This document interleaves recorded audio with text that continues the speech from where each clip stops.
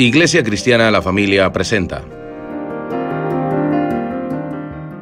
Un mensaje a la luz de la palabra.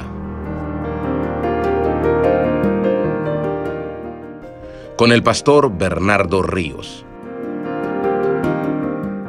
A continuación. Vamos a leer el verso 1 estando en pie.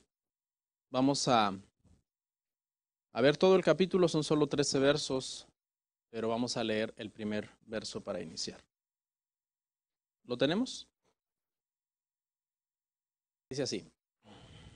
Dice, ahora bien, el punto principal de lo que venimos diciendo es que tenemos tal sumo sacerdote, el cual se sentó a la diestra del trono de la majestad en los cielos.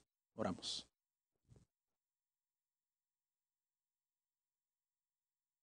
Muchas gracias, Señor, por este día. Muchas gracias por todas tus bendiciones, por tu paciencia para con nosotros, tu misericordia.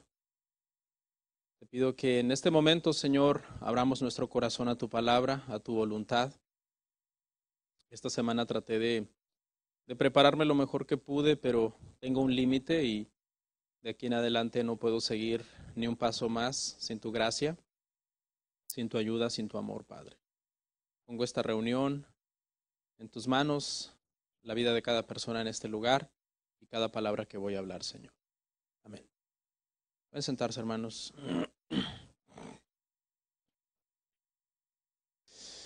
Voy a ir un poco rápido porque mi iPad está descargada.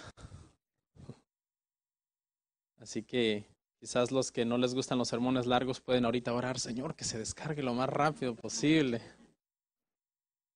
No sé qué me pasó, no puse atención. Siempre pongo atención el sábado en la noche para ver el porcentaje de carga que tiene mi iPad y, y ahora amanecí con la sorpresa de que estaba baja, pero no solamente estaba baja, sino que la tenía que usar para dos cosas, para el discipulado y para la prédica, con esa poca carga. Si se me apaga el resto, que el Señor nos ayude. Ahí aprovecho ya para meter mis ideas. Bueno, hermanos, el tema del día de hoy se titula, hermanos, Jesús, mediador de un nuevo pacto. Jesús, mediador de un nuevo pacto. Pareciera que el autor de Hebreos no suelta este tema de que Jesús es el sumo sacerdote. Es, es el tema central de Hebreos, porque acuérdese que la palabra clave en Hebreos es acercarnos a Dios. ¿Cómo nos podemos acercar a Dios? Y en, este libro el autor dice es a través de este sumo sacerdote. No hay forma. Él es el camino al Padre. Nadie puede ir al Padre si no es a través de Él. Básicamente lo que vamos a ver el día de hoy, hermanos, es cómo el autor de Hebreos, basándose en un pasaje del Antiguo Testamento, que es Jeremías 31, 31 al 34, dice que por cuanto Jesús es un mejor sacerdote que los sacerdotes que eran descendientes de Aarón. Por tanto, Jesús trajo un mejor pacto. Ese es el argumento. Mejor sacerdote, mejor pacto. Y la pregunta que surge entonces, ¿qué pasó con el pacto antiguo? El pacto que Dios hizo con Moisés, el pacto que se le conoce como el pacto de las obras. ¿Qué pasó con ese pacto? Y el autor dice en el verso final, verso 13, fue quitado. Fue quitado, caducó y fue quitado y estamos en un nuevo y mejor pacto. Quise eh, traer una definición de qué es un pacto, si los hermanos son tan amables en ponerla. ¿Qué es un pacto? Vamos a leerla. Creo que esto nos va a ayudar a entender qué estamos hablando cuando nos referimos a que Jesús estableció un nuevo pacto y el antiguo pacto fue quitado. Dios ha establecido que su relación con su pueblo sea por medio de pactos, que son una especie de contrato entre dos partes, el cual era ratificado con sangre, que esa es la definición. Dios ha establecido relacionarse con las personas por medio de pactos y esos pactos eran ratificados con sangre. Por eso vemos tantísima sangre en el Antiguo Testamento, ¿no? Porque eh, eh, Dios hizo pacto con Abraham, por ejemplo, en Génesis 15, y se mataron animales, Dios pasó en medio de estos animales, gracias, para eh, sellar ese pacto con la sangre de esos animales. Pero algo bien curioso del pacto que Dios hizo con Abraham, antes del pacto que Dios hizo con Moisés, es que cuando Dios hizo ese pacto con Abraham, usted lo puede leer en su, casa, en Génesis 15, 17 al 18, Abraham no pudo ratificar el pacto, porque dice que un terror lo sobrecogió, se oscureció y se durmió. Y en el momento en que ambas partes tenían que pasar por en medio de los animales divididos para ratificar el pacto, Abraham no pasó, solo pasó Dios. Por eso en un pasaje anterior de Hebreos dice que Dios juró por sí mismo, porque Abraham no pudo jurar. Y ese, ese pasaje, hermanos, en Génesis 15, 17, 18 es tan importante porque prefiguraba el nuevo pacto que había de venir. En donde igual en el nuevo pacto que estamos, Dios no hizo ese pacto con nosotros, sino que lo hizo con su Hijo Jesucristo. ¿Ok? Este es el argumento del autor de Hebreos. El autor de Hebreos le dice a su audiencia, esto de un nuevo pacto ya fue dicho hace 600 años, en los tiempos de Jeremías. Pero no solamente ya se había hablado de este nuevo pacto hace 600 años en los tiempos de Jeremías, sino que ya se había hablado de este pacto hace 2000 años, cuando el Señor hizo este pacto con Abraham, pero Abraham no pudo participar del pacto. La palabra hebrea para pacto en el Antiguo Testamento es la palabra berid, y era un acuerdo entre dos partes y cuando una de esas dos partes no cumplía las condiciones del acuerdo, el acuerdo se anulaba. Este antiguo pacto, Berid, fue el pacto que Dios hizo con Moisés en el monte Sinaí. El Señor les preguntó si ellos estaban dispuestos a guardar la ley y todo el pueblo a una dijeron, sí, lo haremos. Pero no pudieron guardar ese pacto y por tanto ese pacto quedó anulado. Ese pacto quedó anulado porque una de las dos partes no cumplió con su promesa, no cumplió con su parte de la promesa. La Septuaginta, que es una traducción del el hebreo al griego, que es una traducción más o menos que se hizo unos 250 años antes de Cristo, tradujo esta palabra berid como diateque al griego, así como suena, diateque solamente que el sonido T con un H al final y con K. Y este, esta palabra diateque en este nuevo pacto que nosotros estamos describe muy bien nuestra relación con Dios. ¿Por qué? Porque esta palabra diateque que usa el autor de, de Hebreos, en este caso en Hebreos, una mejor traducción sería la última voluntad o el testamento de una persona que va a morir. En ese testamento o en esa última voluntad de la persona que va a morir, el benefactor, es decir, el que va a dar la herencia, es el único que pone las condiciones de ese pacto diateque. El beneficiario, el que va a recibir la herencia, no tiene vela en el entierro. O sea, así es como debe de funcionar. Los, hijos no deberían decirle a sus padres antes de morir, Padre, yo quiero que tu testamento sea así, así y asá, y que a mí me des esto, aquello y esto otro no se entiende que la última voluntad de un muerto es así, sino que en la última voluntad o en este testamento, el beneficiario simplemente puede o aceptar el pacto o rechazar el pacto, pero no alterar las condiciones del pacto. Las condiciones del pacto quedan bajo la sola potestad del testador. Y eso es más o menos, hermano, el argumento en el Nuevo Testamento, que en el Nuevo Testamento, bajo este nuevo pacto en el cual nosotros estamos, nosotros no tuvimos nada que ver en la última voluntad o en el testamento. Fuimos beneficiarios entonces de un testador que por medio de su muerte selló con su sangre ese pacto, pues se acuerda que le dije que se sellaba con sangre, ese, ese pacto lo selló con su sangre y puso las condiciones del pacto y nosotros entonces no tenemos nada que ver ahí. En ese pacto solamente está escrito que el Padre le prometió a su Hijo entregarle un pueblo, entonces el pacto lo hizo Dios consigo mismo, con su Hijo y no con nosotros. Y el Padre nos dice a nosotros en este nuevo pacto, si tú vienes a mí, si tú crees en mí, yo no te echaré fuera. En este nuevo pacto, por tu fe es que tú vas a ser salvo y te vas a beneficiar entonces de mi sacrificio, de mi vida, de mi muerte, de mi resurrección. Y ese es el proceso por medio del cual tú te podrás acercar a Dios en este nuevo pacto.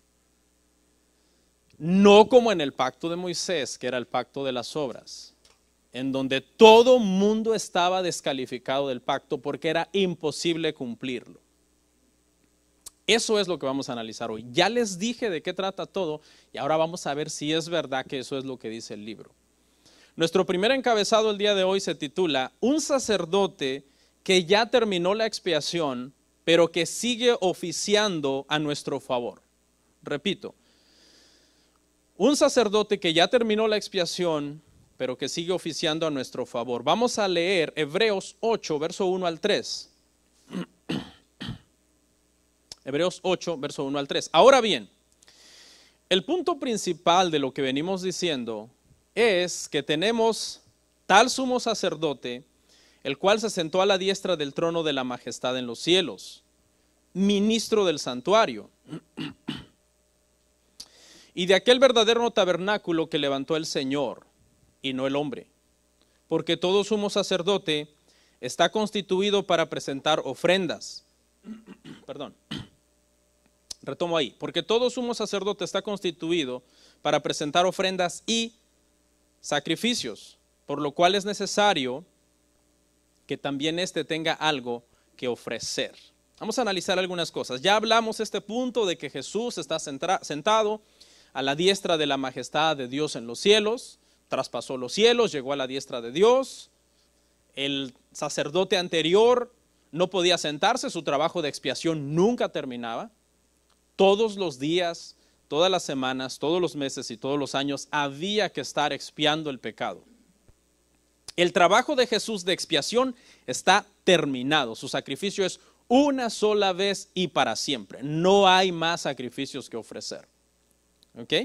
Entonces, por eso es que se le ve sentado en el sentido de expiación, pero eso no quiere decir que Jesús no está haciendo nada. Porque el punto que queremos ver aquí es que aunque Jesús ya terminó su trabajo de expiación, su trabajo de oficiador a nuestro favor sigue vigente y sigue trabajando. Y eso es lo que dice este pasaje. Jesús está a la diestra y está todavía haciendo un trabajo, no de expiación, pero sí de presentar toda nuestra devoción ante el Padre.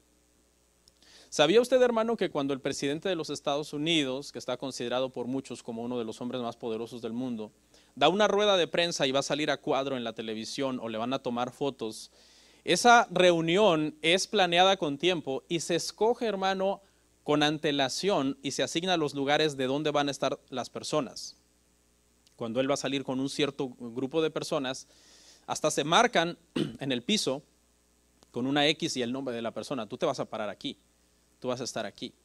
Y por lo general, a la persona que se le pone a la diestra del presidente es una de las personas de más alto rango en el país, algún general, algún presidente que está de visita, alguien, tiene que ser alguien muy grande para que aparezca a la diestra del presidente.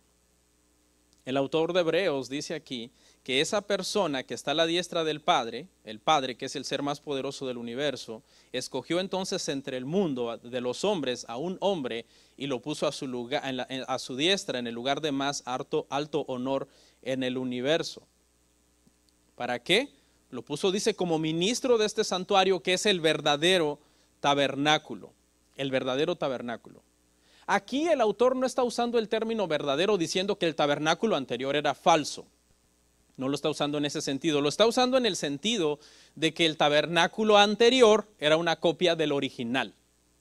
Eso es lo que quiere decir ahí. No es que este es el verdadero y por tanto Moisés mandó a erigir un tabernáculo que era falso. No, eso no es el sentido. A estas alturas, cuando el autor de Hebreos dice esto, hermano, hace mil años que desapareció el tabernáculo que fue edificado por Moisés. ¿Cuándo desapareció? ¿Alguien se acuerda cuándo desaparece este, este, tabernáculo que se anduvo llevando por el desierto y cuando llegaron a Canaán se estableció en cierta área, luego en cierta área? Bueno, este tabernáculo deja de existir cuando por fin se construye un templo. Y ese templo es el templo de Salomón. David tuvo la idea, Dios no se lo permitió, pero Salomón construye el templo y entonces el tabernáculo desaparece. Hace mil años más o menos entonces que este tabernáculo, que había sido una copia, ya no existe. Actualmente cuando el autor está hablando hay un templo en pie. No es el templo de Salomón, el templo de Salomón fue destruido por los ah, babilonios 586 antes de Cristo. ¿Qué templo es? Es el templo que reconstruyeron los cautivos que volvieron de Babilonia en los tiempos de, de Malaquías, de Ageo, de Zacarías. Y actualmente cuando el autor de Hebreos está hablando se le conoce como el templo de Herodes. El templo de Herodes. No es que él lo construyó, pero él lo remodeló y a raíz de que él lo remodeló se le empezó a conocer entonces como el templo de Herodes. Pero cinco años después de esto que está hablando el autor es destruido en el año 70. Es destruido. Entonces el tabernáculo tenía mil años sin existir, y el templo que está en pie está a punto de desaparecer. Estos recintos habían sido hechos por los hombres, dice el autor de Hebreos. Este esto los hicieron los hombres. ¿Cómo los hicieron? Los hicieron porque Dios les dio un plano, Dios les dio el modelo. Dios les dijo paso a paso todo, las medidas, los materiales, las pieles de animales, las piedras, cómo se debían labrar, que no se debían golpear, eh, las maderas preciosas, los metales, todo. Dios les había mandado a ellos, pero a pesar de su esplendor, por ejemplo, el templo de Salomón tuvo un esplendor, fue una de las maravillas antiguas del mundo antiguo, dice que seguían siendo simplemente una copia de el perfecto, del eterno, y estas cosas eran solamente sombras y figuras temporales e imperfectas de algo superior. Allí en ese santuario superior es que está entonces un sacerdote superior, que es Cristo, ministrando sigue ministrando por nosotros. Ya no está expiando mis pecados porque ya los expió. Está sentado en el, en el sentido de expiar, pero sigue oficiando para mí. ¿Por qué? Mire lo que dice.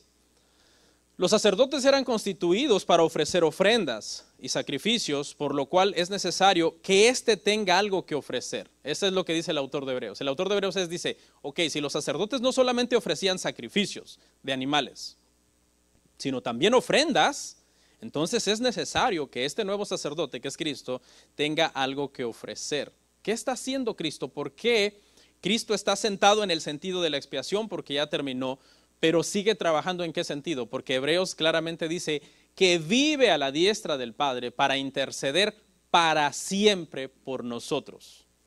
Es decir, aunque ya nuestros pecados fueron expiados por Él, nosotros seguimos yendo al Padre por medio de este sumo sacerdote que es Cristo. Los israelitas en el antiguo pacto no podían ir a Dios sin el sumo sacerdote, era imposible. De igual manera, al día de hoy, ningún alma, ninguna persona puede ir, hermanos, a Dios. Si no es por medio de Jesucristo, no se puede llegar al Padre. Jesucristo es el camino. No hay otra forma. Una de las, la más grande necesidad que tiene este mundo el día de hoy, hermano, no es de grandes líderes políticos que nos resuelvan los conflictos actuales que, el mundo enfrenta, sino de Dios. Esa es la más grande necesidad que el mundo tiene. Está trabajando entonces ese sacerdote para, para nosotros, está llevando nuestra devoción a Dios, nuestras oraciones llegan al Padre por medio de Jesús.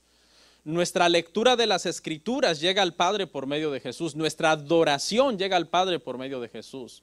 Nuestro servicio a Dios llega al Padre por medio de Jesús. No sé usted, pero a mí esto me motiva para preguntarme, ¿qué estoy ofreciendo al Padre por medio de este sumo sacerdote? Es decir, este sumo sacerdote está a la diestra del Padre en el cielo oficiando para mí. ¿Y qué es lo que está llevando de mi parte al Padre? ¿Qué es? ¿Cómo es su, vida de oración? ¿Puede Jesús estar a la diestra del Padre diciendo, Señor, aquí está la oración de fulanito? ¿Cuál? Si no ora fulanito. Señor, aquí está, mira la lectura bíblica de fulanito, te la presento. Vieras cómo ama tu palabra y medita en ella. ¿Cuál? Si lo único que lee es la galleta de la fortuna cuando va al chino. Aquí está, Padre, mira cómo ofrenda esta persona en tu iglesia para sostener las necesidades de los santos. Aquí está, ya no hubo muchas risas, ¿ah? Aquí está, Señor, el servicio. Mira cómo esta persona no se anda quejando que se tiene que levantar temprano y que quién le va a pagar su gasolina, sino mira la devoción que tiene, más ahora que está subiendo por la guerra, ¿sí? De servir. Pregúntese usted, hermano, en este momento. Jesús ya terminó el trabajo de expiación si tú eres hijo de Dios por ti. Jesús ya hizo ese trabajo, una sola vez y para siempre.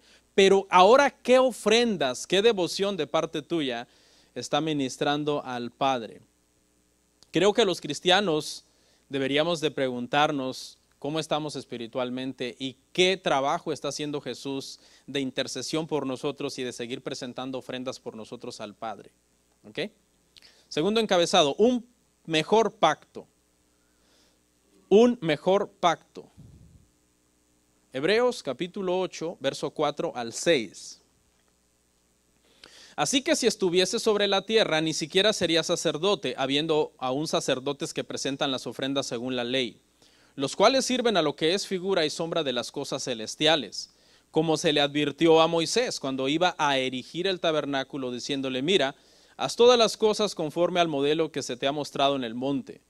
Pero ahora, tanto mejor ministerio es el suyo, cuanto es mediador, de un mejor pacto establecido sobre mejores promesas. Dice el autor de Hebreos que todavía hay sacerdotes oficiando en el templo. Esto históricamente nos hace entender que todavía está el templo ahí en pie, que todavía el sacerdocio arónico está operando y siguen oficiando, pero el autor, el argumento del autor en esta porción es la siguiente, pero tranquilos, porque eso es solamente una sombra, y más adelante les dice, y está próximo a desaparecer, lo cual sucede después.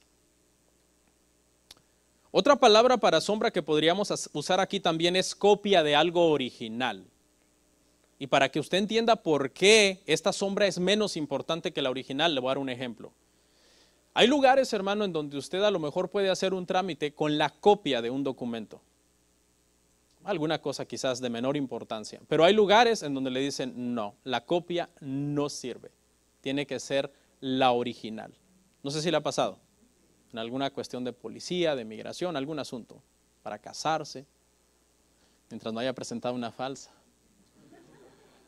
Y, a veces hasta te dicen, ¿no? ¿Cómo identificar una copia? Y yo antes no sabía. ¿Y cómo sabe usted que esto es una copia? Yo lo veo tan bonito, dice, porque la firma no, está, no es wet, no está mojada. La firma está fotocopiada.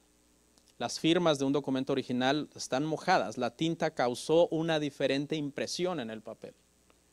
Y este sentido lo que, lo que quiere decir aquí el autor es, hermano, que las cosas del antiguo pacto habían servido por un tiempo, habían cumplido un propósito, pero después ya no sirvieron, porque ahora se necesitaba el original para que pudiera funcionar, para que pudiera seguir funcionando las cosas. Cumplieron su propósito las copias, Después llegó un momento en que dijo, no más copias, quiero el original. Si no, hasta aquí llegaste, no pasas de aquí, quiero el original. Y ese sacerdote original es Cristo. Él está en el, en el, tabernáculo verdadero, en un pacto nuevo. Pero ahora, tanto mejor ministerio es el suyo, cuanto es mediador de un mejor pacto. mediador de un mejor pacto. El mediador es una palabra que se usaba para hablar de una persona que podía reconciliar a dos partes que estaban enemistadas. Ese era el trabajo de un mediador. La parte A y la parte B estaban enemistadas, el mediador venía, entonces el mediador tenía que tener eh, una característica importante que era conocer bien a la parte A y conocer bien a la parte B conocer ambas partes para poderlo reconciliar. Y ese trabajo de mediador entonces nadie lo puede hacer mejor que Cristo, porque Cristo es Dios, conoce perfectamente lo que es la deidad y Cristo se hizo hombre, se hizo humano y conoce perfectamente lo que es ser hombre, lo que es ser un humano. Entonces ese trabajo lo vino a hacer el Señor de reconciliarnos, entonces de llevarnos con Dios. Pero otra palabra también que podíamos usar como en, en lugar de mediador podría ser garante o fiador. Garante o fiador, es decir, alguien que responde a la deuda de alguien más. Por cierto, eh, proverbios lo prohíben, ¿no? Cuando de repente está hablando en cuestiones económicas y vas a salir de garante o fiador de alguien que ni conoces. En ese sentido, eh, Proverbios lo, lo prohíbe, Proverbios 6 en adelante. Pero aquí, Cristo entonces es ese mediador, ese garante o fiador, que vino y pagó nuestra deuda. El contexto es el siguiente. La parte A era el, que le había prestado dinero a la parte B, la parte B era el deudor y, el deudor no podía pagar. Entonces la parte A tomaba al deudor y lo metía en la cárcel. y el garante o fiador era aquel que era amigo del deudor y venía y pagaba la multa y lo sacaba de la cárcel y lo reconciliaba con la parte A, que era el que había prestado el dinero. Eso es exactamente lo que el Señor hizo con nosotros. Él pagó nuestra deuda. Porque no es nada más que nos reconcilió, que vino y dijo, yo soy el mediador y lo reconcilio, llévense bien. No, sino que había una deuda que había que pagar. No es de que el Señor nos perdonó así por así. El Señor Jesucristo fue a la cruz y en su cuerpo, en su sangre, pagó esa deuda al Padre por nuestros pecados, por nuestras transgresiones. Fueron contados sobre Él, su justicia fue contada sobre nosotros y fue así entonces, hermano, que Él es nuestro mediador, nuestro garante o, fiador entre nosotros y Dios.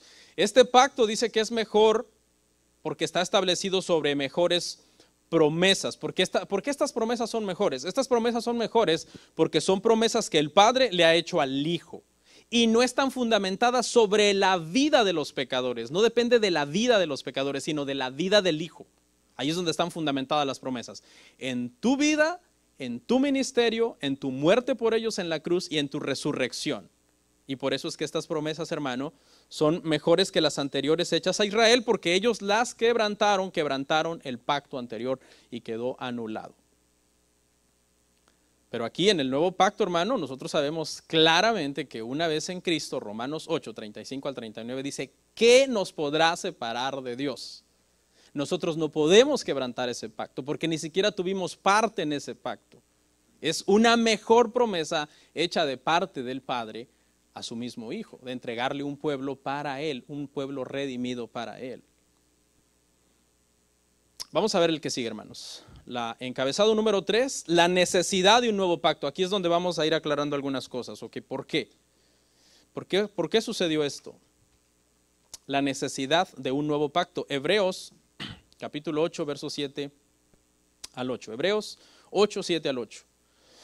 Porque si aquel primero hubiera sido sin defecto, ciertamente no se hubiera procurado lugar para el segundo, porque reprendiendo les dice, he aquí vienen días, dice el Señor, en que estableceré con la casa de Israel y la casa de Judá un nuevo pacto. ¿Ok?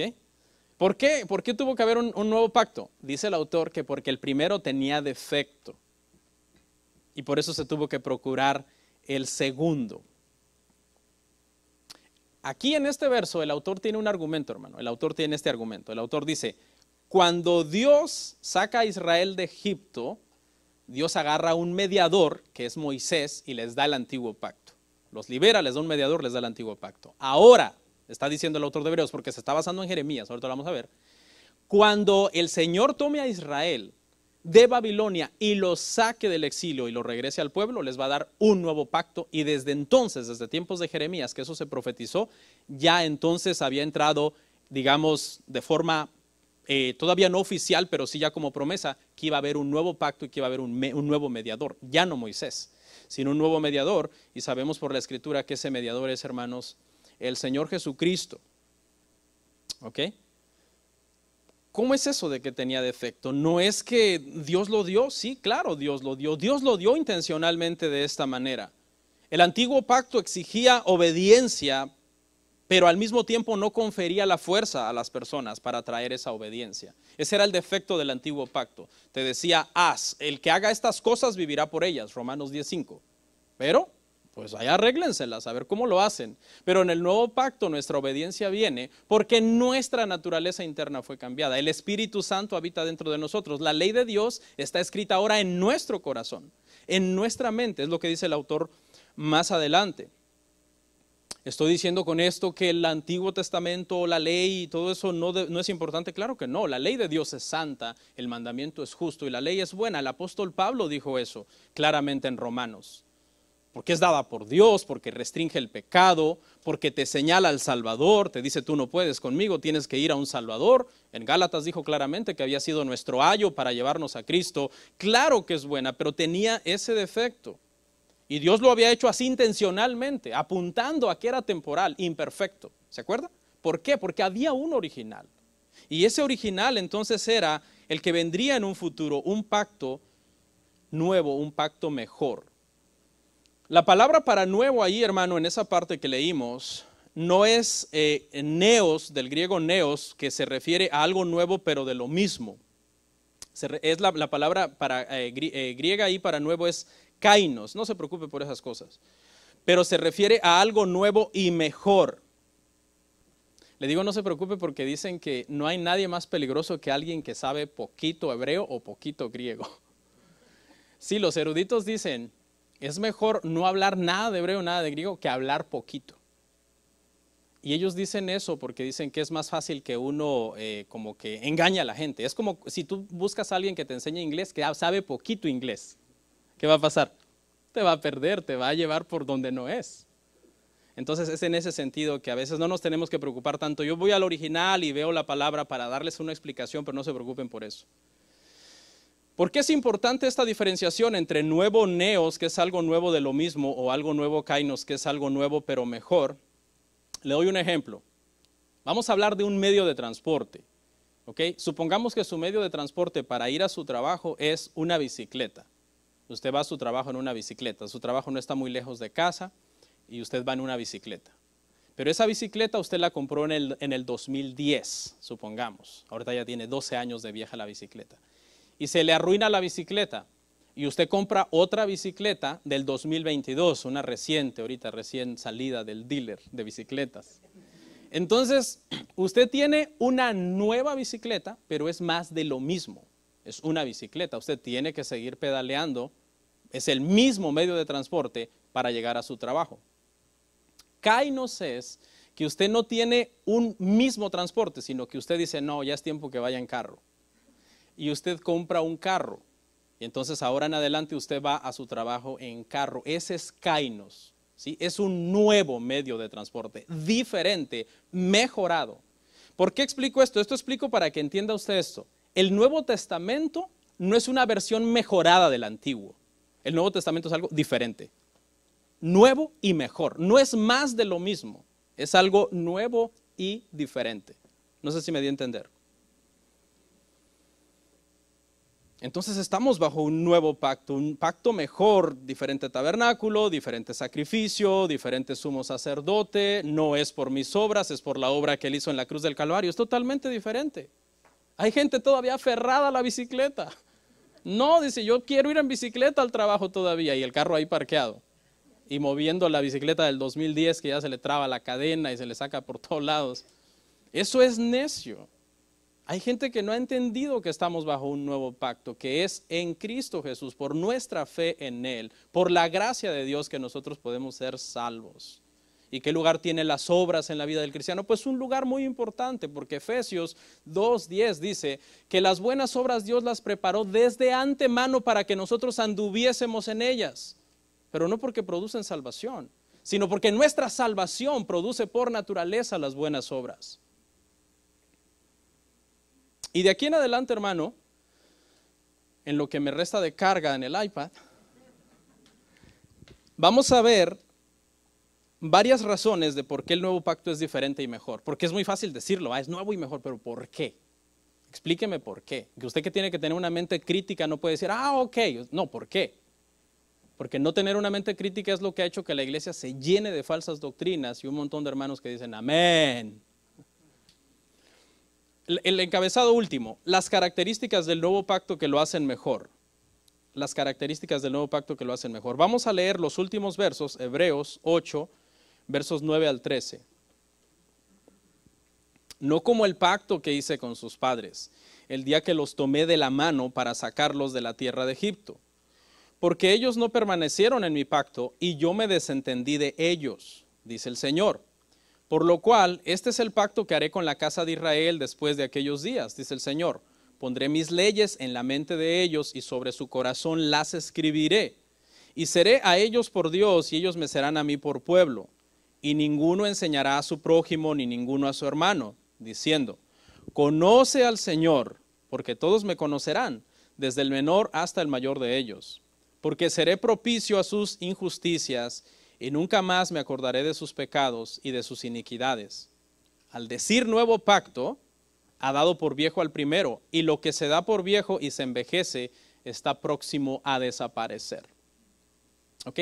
Toda esta parte, hermano, que acabo de leer ahorita el autor de Hebreos lo está tomando de Jeremías, capítulo 31, verso 31 al 34. Y él, por el Espíritu Santo, nos va a explicar entonces qué quiso decir ahí a Jeremías. Y lo está usando para decirnos por qué este pacto es mejor. Acuérdese que el autor de Hebreos, hermano, lo que tiene en su mente es exaltar a Cristo, exaltar a Cristo, a Cristo, a Cristo.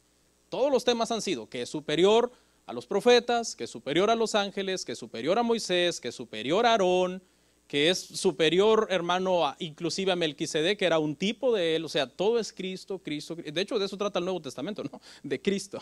Por eso estamos en un nuevo pacto. La primera razón, hermanos, póngame la lámina número uno. El nuevo pacto fue dado por Dios. Esa es la primera razón de que este pacto, hermanos, es mejor. Por eso ahí en Hebreos 8:8 dice, yo estableceré el nuevo pacto. La idea a los hebreos les podía sonar revolucionaria. ¿Un nuevo pacto cómo? Pero no era revolucionaria. 600 años antes de esto, a Jeremías se le había prometido que habría un nuevo pacto. Por muy nuevo que a ellos les pareciera, realmente la idea no era nueva. Hace 600 años se le había dicho a Jeremías y hace 2000 años se había prefigurado en aquel sacrificio de Génesis 15 cuando Abraham se durmió. Fue la única vez que dormir estuvo bien. Ahorita no se duermen. Cuando los judíos, hermano, volvieron de Babilonia, ya estaban bajo la promesa de este nuevo pacto. No lo alcanzaban a entender, claro, pero cuando ellos volvieron de Babilonia ya estaban bajo esta promesa. Esta promesa se cumplió 400 años después, cuando Cristo dijo en la cruz, consumado es, y se refería a eso. Entonces, el antiguo pacto fue dado por Dios también, pero tenía defecto, porque Dios intencionalmente lo dio así. No confería la fuerza para obedecer los mandamientos. Pero este nuevo pacto es dado por Dios también, es prometido por Dios, inclusive antes, antes del antiguo pacto. Cuando Dios hizo ese pacto con Moisés, después, 400 años, años después más o menos, fue el que hizo el pacto de las obras con Moisés. ¿Cuál fue primero entonces? El pacto nuevo que había sido prefigurado ya en ese sacrificio de Abraham dado por Dios desde antes. ¿ok? La segunda razón, hermanos, la segunda razón de por qué este pacto es mejor. Este nuevo pacto incluye a todo Israel, el argumento está ahí donde dice que lo hará con la casa de Israel y con la casa de Judá. Un poquito de historia en este punto, hermanos, un poquito de historia. Usted sabe que se muere Salomón y se divide el reino. Reino norte, diez tribus, reino sur, dos tribus. 722 antes de Cristo, el reino del norte es llevado cautivo. 586 antes de Cristo, el reino del sur es llevado cautivo. Pero aquí es donde mucha gente omite un detalle. Mucha gente sigue buscando las diez tribus perdidas de Israel. Y eso pasa por no conocer las escrituras, no conocer la historia de Israel. Le cuento, cuando el reino se divide, Jeroboam queda como rey del norte y comienza a poner un culto idolátrico, sacerdote según su corazón, fiesta según su corazón. Gente de todas esas diez tribus que quieren seguir honrando a Dios de verdad, se van al sur. ¿Ok? Y en el sur entonces hay gente de todas las tribus, del remanente verdadero que quiere adorar a Dios están en el sur. 722 a.C., los asirios se llevan cautivos a los del norte. Pregunta, ¿se llevaron a todas las diez tribus del norte? No, se llevaron a cierta gente de las tribus del norte. Y esa gente desapareció y se mezcló con el mundo y no se sabe absolutamente nada de ellas. ¿Dónde quedó la gente del remanente de esas diez tribus? En el sur. Se quedaron en Judá.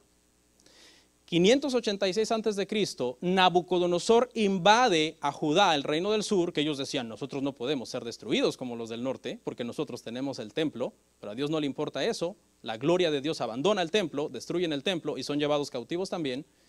Y en ese pueblo, que van 70 años a Babilonia, va gente de todas las tribus de Israel, de las 12 tribus de Israel. Y le voy a dar las citas, léalo, está en su, eh, Biblia. Segunda de Crónicas 11, 14, 16. Dice claramente que había gente de todas las tribus en el sur. Entonces, cuando esos judíos vuelven de la cautividad, cautividad babilónica, eh, sorry por la clase de historia, pero es necesario entender esto, hermanos. ¿Por qué estoy diciendo que este nuevo pacto es con todo Israel? Ya no solamente que el reino del sur, que el reino del norte. Este, este punto es, es importante. Cuando vuelven de la cautividad, y tú lees la Biblia, a los que han vuelto se les llama todo Israel. Léalo en su Biblia. Está en Primera de Crónicas, em, capítulo, ahorita le voy a la cita.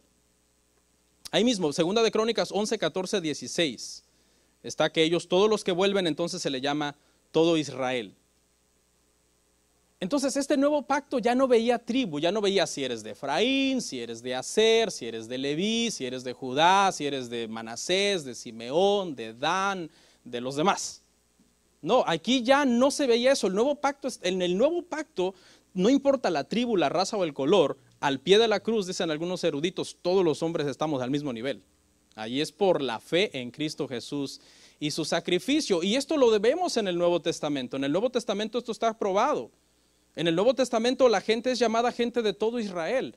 Hay gente de las doce tribus en Israel y hay gente de las doce tribus en la diáspora. Santiago 1.1 dice eso, a las doce tribus que están en la dispersión. Es decir, las doce tribus por todos lados en todo el mundo, dispersados en todo el mundo. Pero también había gente de las doce tribus donde localmente en Israel. Si esto es verdad, entonces en el Nuevo Testamento debemos encontrar gente de, de todas las tribus. Y ahí está. ¿De qué tribu era Jesús? De Judá. ¿De qué tribu era Juan el Bautista? Juan el Bautista era de la tribu de Leví. ¿De qué tribu era Pablo? Pablo era de la tribu de Benjamín, aunque ya sé lo que van a decir los judaizantes, pero es que Benjamín y Judá eran las dos tribus del sur. Ok. ¿De qué tribu era Ana, la, la viuda aquella que estaba orando, esperando para que Jesús viniera? Era de la tribu de Aser. Lea el Evangelio de Juan. Jesús ministró en la región de Efraín, Jesús ministró en la región de Zabulón, Jesús ministró en las regiones de las ciudades de esa gente, porque esa gente habían vuelto también del cautiverio. Entonces, hermanos, este pacto, este nuevo pacto es mejor porque ya no está hablando de casas, de que la casa de Israel, que la casa de Judá, sino como un solo a todos. Tercera razón. El nuevo pacto incluye a todo el mundo.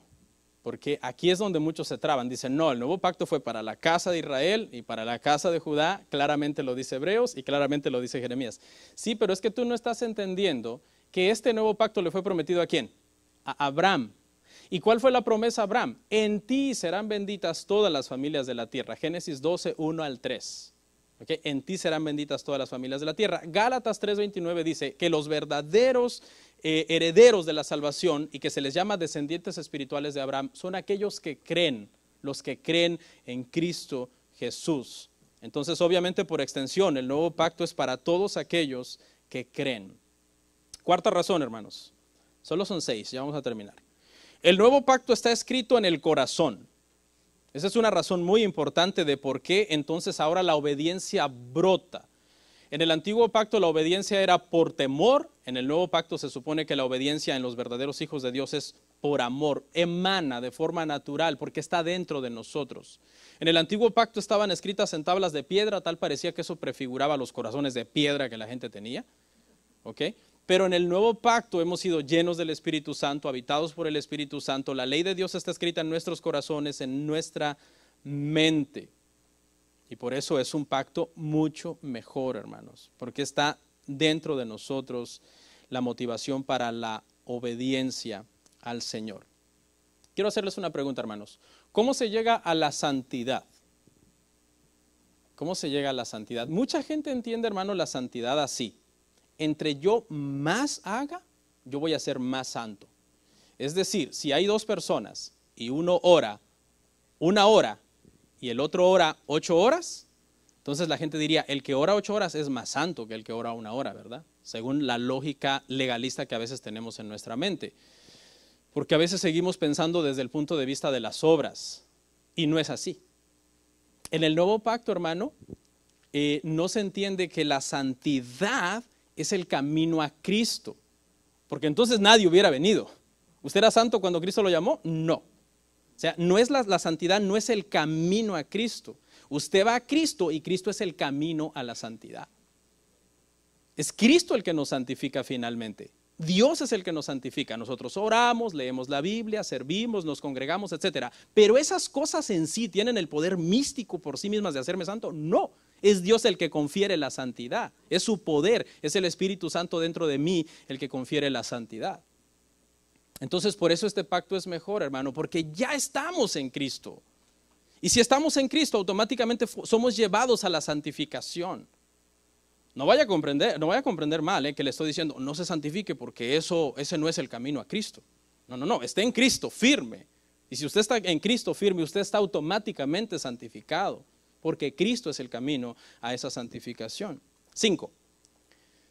El nuevo pacto realmente produce el perdón. El nuevo pacto realmente produce el perdón. ¿Por qué realmente produce el perdón? Bueno, pues porque, hermanos, en el antiguo pacto nosotros sabemos que la gente a cada momento estaba perdiendo su, su, su unión con Dios a causa del pecado. El pecado dice que trae separación con Dios y ellos cada vez que violaban entonces la ley quedaban separados de Dios porque ellos habían dicho que lo iban a cumplir y no lo cumplían. Ahora, nuestra unión con Cristo, hermanos, no depende de nuestra, de nuestra eh, fidelidad. Ahorita lo voy a explicar. Nuestra unión con Cristo, hermanos, depende de la inmutable fidelidad de Dios. Una vez justificados por nuestra fe en Cristo Jesús, no podemos ser separados, no se puede romper esa unidad. ¿Se puede dañar nuestra relación? Sí.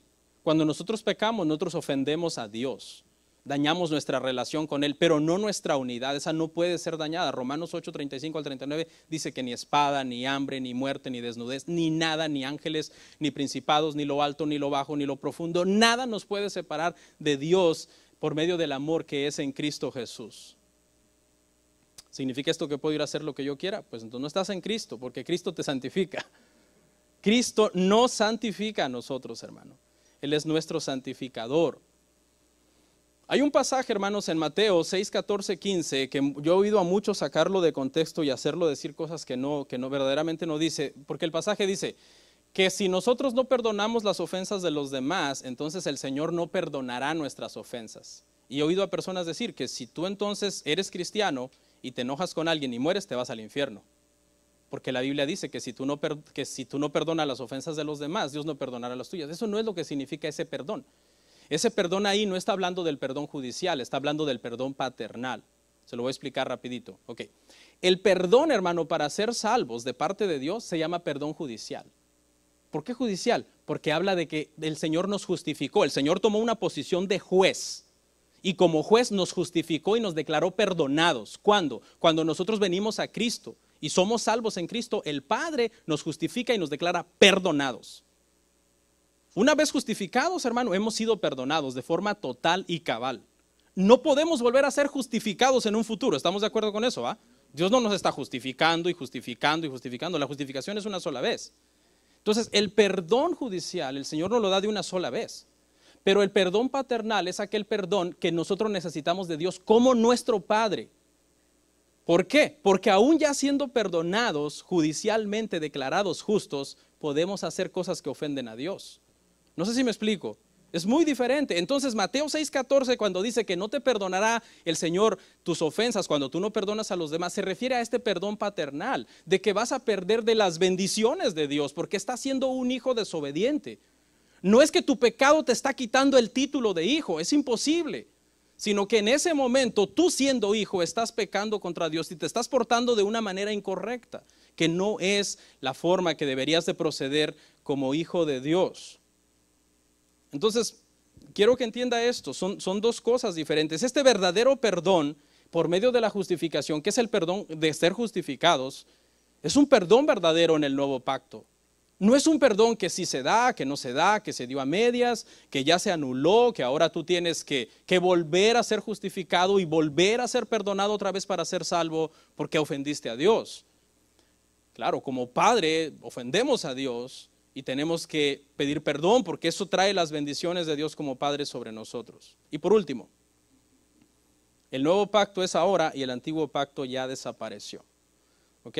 El nuevo pacto es ahora, el antiguo pacto ya desapareció. Aunque el templo está en pie y faltan unos cinco años más o menos para, para que el templo desaparezca, el pacto, dice el autor, ya no está en sí ya no está. Y el contraste entonces en este pasaje es entre ese pacto de obras hecho con Moisés, que nadie pudo guardar y nadie puede guardar. De hecho, nosotros no podemos guardar ese pacto a cabalidad como Dios quiere. Si sí pudiéramos, no hubiera sido necesaria la sangre de Cristo, hermano, la sangre de animales, para que fueran expiados nuestros pecados. Ahora nosotros estamos bajo este nuevo pacto que fue ratificado con la sangre de el Señor. No podemos entonces vivir aferrados a lo viejo, porque estamos en un nuevo pacto, un nuevo sacerdocio, y la salvación es entonces por medio de nuestra fe. Vamos a orar, hermanos. Comparte, suscríbete, dale like. Gracias por tu sintonía. Hasta la próxima. Bendiciones.